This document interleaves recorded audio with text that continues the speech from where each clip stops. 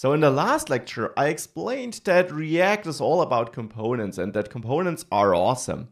Let's actually see this on a real web page. Here's reactjs.org, which is the official web page of the React team. And if we have a look at it, it is actually built with React, of course. This looks like a normal web page, and it is, of course, but we can split this up into components. We got this header component, and in there we got these single navigation item components.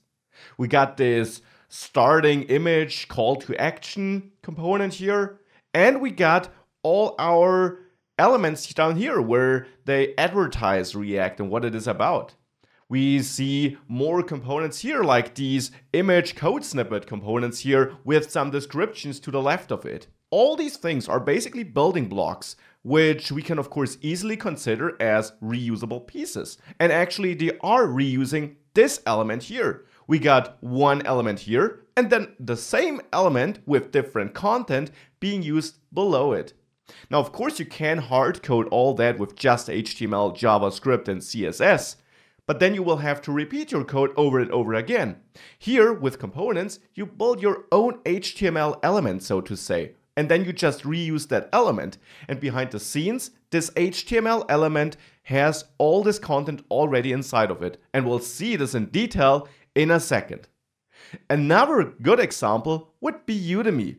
Here on the Udemy page where I searched for Vue.js, an alternative to React, there we see we get a lot of components too. We got the whole header with the search bar component. Then we got the search result summary component here, where it also allows us to filter the search results.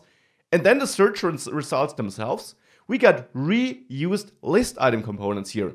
Each of them has an image and a different title, but in the core, they all are the same. They all have the same structure. And Udemy also uses a JavaScript framework to achieve this and to have an easier time developing and, and that's important, maintaining and updating this page. So this is why components are awesome and why we as a developer probably want to use components, and that is why React is all about components.